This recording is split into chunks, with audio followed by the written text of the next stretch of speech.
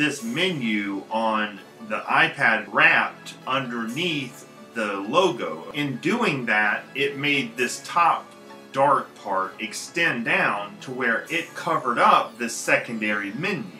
So it wasn't so much an aesthetics issue as it was a user experience issue. Because if they can't see that secondary menu, then that's a bad thing because that's where they book the calls or email me. So that's really the direct response menu. And then the top one is just content. You want further info, but here's the direct response menu. I'm using rev.com, blazing fast on-demand services. Totally true. Completely 100% caption and subtitle videos. That's what I'm using it for. So let's show you what I mean. This has closed captioning, so we'll make sure that it's on.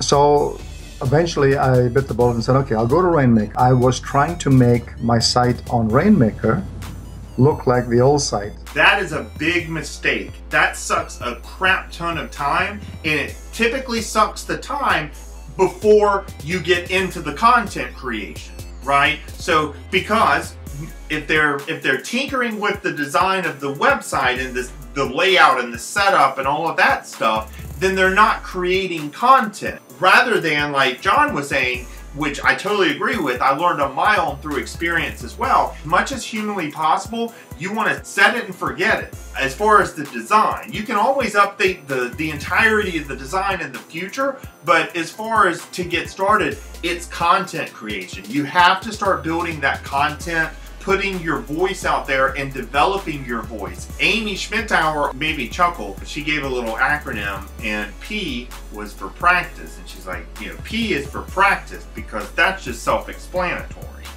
and it is.